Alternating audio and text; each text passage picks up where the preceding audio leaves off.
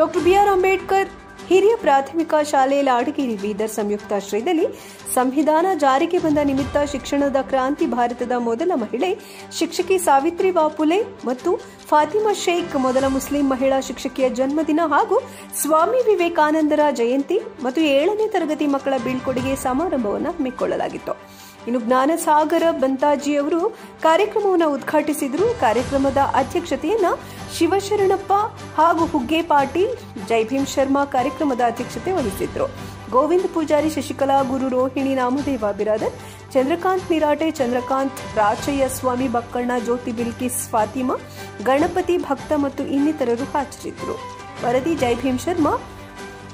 Jai Bhim news twenty four into seven ಇದು ಬಹುಜನರ ನ್ಯಾಯಕ್ಕಾಗಿ